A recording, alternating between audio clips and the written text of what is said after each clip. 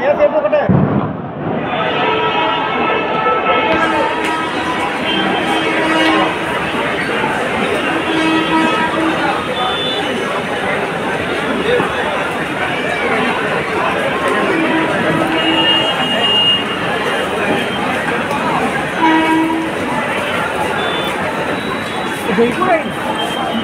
Cái giấy của đây Jaipur एक पे आएगी। नहीं वो आ गई ना। जयपुर सुपर फास्ट हो सकता है देख लीजिए एक बार आप। ऊपर से जाके देखिए।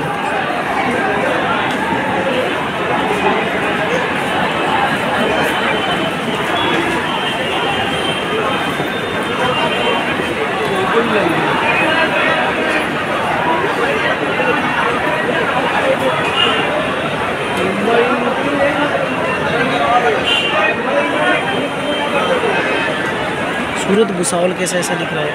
भूसावल हाँ।